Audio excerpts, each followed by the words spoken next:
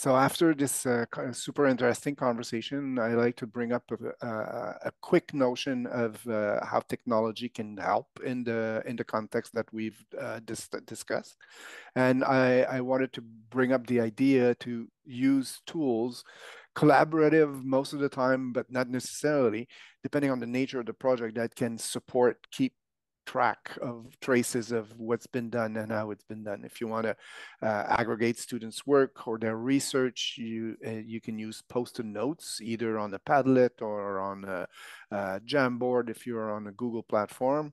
Um, to get everybody involved in the conceptualization, the research, the ideation at the beginning of the project or in the wrap up at the end. You can build a mind map together. Uh, Miro is a good platform to do that. You can, um, if you want to use more uh, complicated, uh, sophisticated uh, ap applications like Microsoft Publisher. That's what I did for the recipe book that uh, we talked about earlier.